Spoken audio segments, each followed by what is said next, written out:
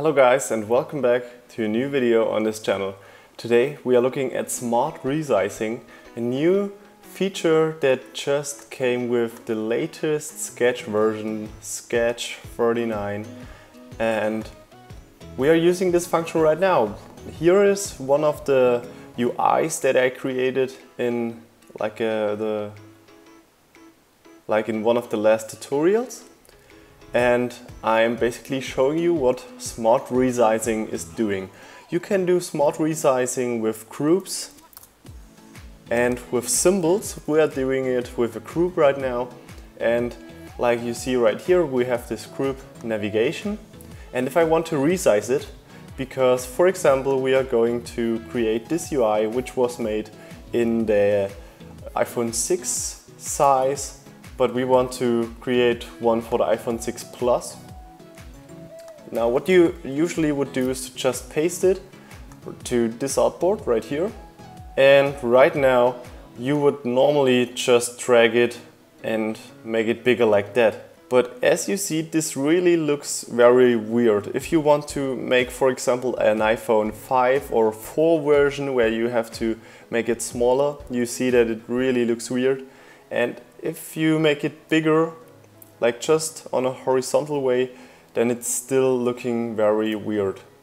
Because it's not really just changing the spacing between the icons, but also the size of the icons as well. So what you are now able to do is to go into Sketch, into your layer list and right here you are now able to select these icons and because we have a group now we can say we want one of these resizing options. Now at the moment we have stretch, which was the option that you had like before in previous sketch versions. Now we can pin our uh, files to the nearest corner, which we won't do right now. We can say we want to resize the object, which like uh, resizes the size of it, but the original position is kept and we can use float in place. Now this, this is really what we are going to use. The layer is not going to be resized, but the original percentage or position is kept. Now select float in place. And if you now go and select the group, you are able to just see that it's just changing the spacing between these icons. And this is just an amazing feature which is so helpful and I'm glad that they implemented this. So if you want, for example, a smaller one for iPhone 5, you can just do that. You see that it's working perfectly and we can also do it and make it bigger. We can do the same with these items right here that we have. Now let me copy one of them to just show it to you. Let's paste them onto this artboard. And right now you see if I'm going to drag this, you see that the text is really looking weird. This button on the right side is looking very weird and we have some major problems right there. But if we just click this button, if we just click this button right here, and we say it should be pinned to the corner, which will mean that it's pinned to this corner and to this position, then we don't have a problem because it keeps the exact size of the current spacing to this to this corner right here. Now let me show you what it does. We can now make it smaller and the original position is just kept. Now we can also make it bigger and you see it's just working fine. Of course, we could also say we want to use float in place again, where the original uh, percentage to the or the original spacing percentage is still there. Now you see that if I'm making it smaller, the spacing is also made smaller. And if I make it bigger, the spacing is also made bigger. But we want to have the exact spacing in a larger version. We can do the same with these elements, with these text layers, and that's of course very important because we don't want these text layers to really cross each other. So right now you see that if we make it bigger, if we make it smaller, it's just amazing because we don't have these problems anymore.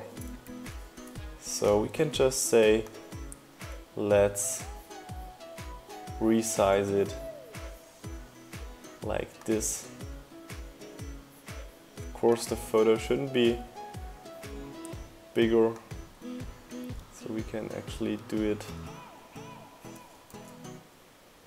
by hitting this icon and resizing it so we get normal relations back like that. Now we have a couple of other options as I said. We have for example stretch which was the normal one that I showed you and we can say we want to resize the object. And this means you see this little tooltip right here. We keep the original position but it resizes the layer. Now this is something that you won't really need that often but I can show you what it does. I select two of these right here and we can say resize the object. Now if we, if we select our group you will see that the position is kept but they really resize. So this isn't really looking that nice, but there are some cases where you need this function where you need to resize like the icon as well. I can show it to you in a small example. So for example, you have a circle and you have it right here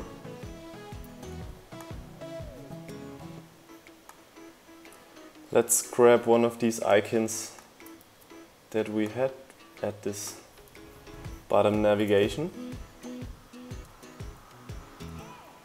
Okay, now let's let's make this a little bit bigger. Like that. And now we want to create a group, of course. And as I said, it's also working with symbols, but we are doing it in a group right now, which is just easier for me to show it to you.